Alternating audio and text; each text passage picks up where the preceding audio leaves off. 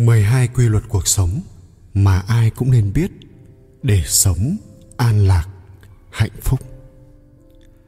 Vũ trụ cũng như một bộ máy được vận hành một cách hoàn hảo với các quy luật tự nhiên của nó.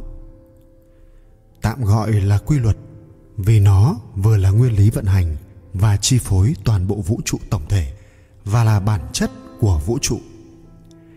Các luật vũ trụ này đều có liên quan và tương tác với nhau một cách rất tinh tế. Trong luật tối cao bao gồm các luật nhỏ. Trong cuộc sống, thuận theo tự nhiên thì mọi sự đều tốt đẹp. Có những chân lý, quy luật cuộc sống mà con người dù muốn tin hay không thì vẫn luôn tồn tại và tác động đến tất cả chúng ta. Nhưng những quy luật này không chỉ là một hiện tượng vật lý đơn thuần. Trong thực tế, điều tương tự xảy ra trong cuộc sống thường nhật mà ta vô tình không nhận ra. Khi con người suy nghĩ, nói hoặc thực hiện một hành động, chúng ta cũng đang tác động một lực lớn vào không gian và trong vũ trụ cũng sẽ có một lực phản lại tương ứng với sự tác động của chúng ta bất kể điều gì, con người ta, dù suy nghĩ hay hành động, cũng đều được ghi lại dấu ấn con người, dù sao đi chăng nữa, cũng nên nắm bắt được những quy luật trong vũ trụ để luôn trong tâm thái an hòa. Và dưới đây là 12 quy luật sống bạn nên biết. một, Luật nhân quả. Luật nhân quả là quy luật mà thiết nghĩ ai cũng nên hiểu rõ về nó. Quy luật này quyết định tiến trình luân hồi và giải thoát của chúng ta. Những gì mà chúng ta tạo ra trong vũ trụ này, chúng sẽ mãi mãi gắn liền với cuộc đời của chúng ta, vì chúng ta là những sinh mệnh nằm bên trong vũ trụ đó. Điều chúng ta làm hôm nay sẽ quyết định tương lai cuộc đời mình thiện hay ác, tốt hay xấu, đều do tự bản thân mỗi người lựa chọn. Điều đó làm nên chính mình trong tương lai. Hai, luật hấp dẫn. Chìa khóa để có được nội tâm bình ổn chính là không bị lệ thuộc bởi những gì đang diễn ra xung quanh. Hướng vào bên trong bản thân mình để luôn đạt được trạng thái yên bình trong tâm muốn trở thành một người tích cực và thiện lương, hãy giao lưu với những người tích cực và những người thiện lương để cuộc sống luôn tràn ngập những điều tốt đẹp. Giống như các cụ có câu, gần mực thì đen, gần đèn thì sáng. Ba, luật chấp nhận. Trong cuộc sống, chúng ta không thể thay đổi hoàn cảnh cho đến khi ta học cách chấp nhận chúng tất cả những gì xảy ra trong cuộc đời bạn là có lý do. Đó là do nhân duyên duyên nghiệp của bạn từ tiền kiếp, dù bạn có tin hay không.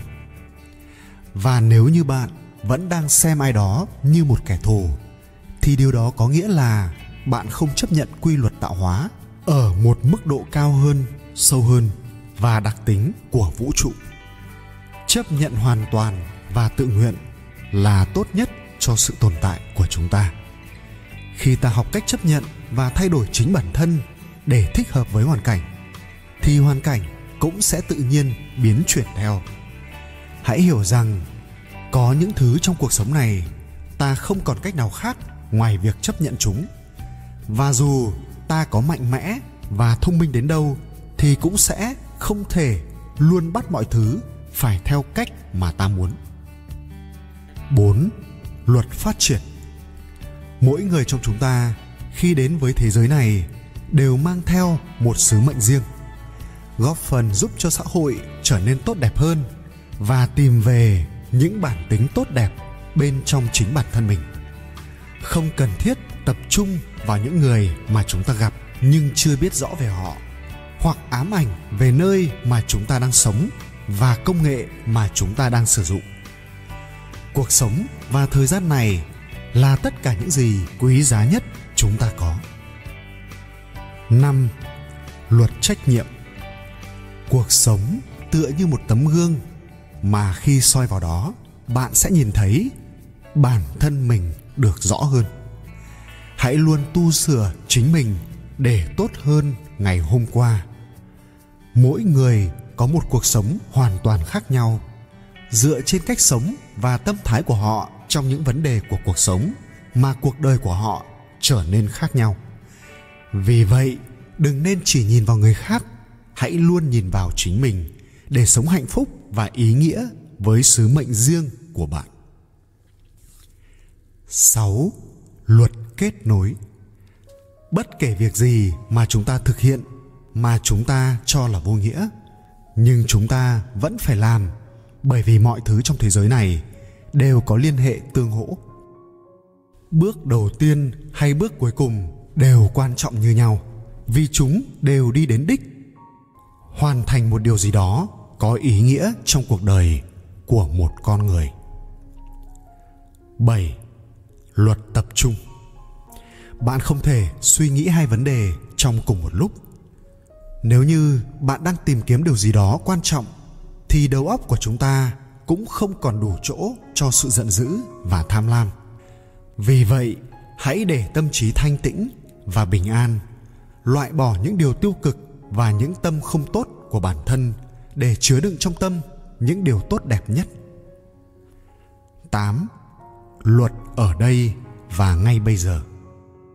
Sự vọng tưởng về tương lai có thể khiến chúng ta hoàn toàn mất tập trung vào những điều đang diễn ra ở hiện tại. Những hình mẫu, hành vi cũ cũng như những tư duy theo lối cũ có thể ngăn trở con đường đưa chúng ta tiến đến những điều mới mẻ hơn. 10. Luật cơ hội. Lịch sử sẽ lặp lại chính nó cho đến khi chúng ta rút ra được những bài học kinh nghiệm từ sau đó. Còn người ta không thể hành động theo cách cũ mà mong tưởng một kết quả mới được. 10. Luật kiên trì và tưởng thưởng Kiên trì và nỗ lực bao nhiêu thì sẽ nhận lại tương ứng. Đó chính là điều tất yếu. Niềm vui thực sự đến từ lao động chân chính, bền bỉ để rồi sau đó đạt được mục tiêu của mình người ta sẽ không đạt được điều gì thực sự nếu không nỗ lực và đặt tâm trí vào điều đó. 12. Luật ý nghĩa và cảm hứng. Chỉ khi chúng ta trở nên xứng đáng với điều gì đó thì chúng ta có nó. Càng bỏ công sức bao nhiêu, chúng ta sẽ nhận lại được bấy nhiêu. Và người nào càng cho đi nhiều sẽ nhận lại nhiều bấy nhiêu. Bên cạnh 12 luật vũ trụ tối cao, chúng ta còn có các giới luật được cai quản bởi cái tối cao hơn liên quan đến tính cách của con người mà bạn có thể áp dụng vào cuộc sống để nâng cao rung động và tâm thức của mình. Như từ bi, nhân đức, rộng lượng, khoan dung, tốt bụng, tha thứ, chân thật, trách nhiệm, tận tâm, can đảm, trung thực, khát vọng, niềm vui, niềm tin, động viên khen ngợi kiên cường, kiên nhẫn, yêu thương bản thân mình, yêu vô điều kiện, biết ơn, không can thiệp tự do và ý chí của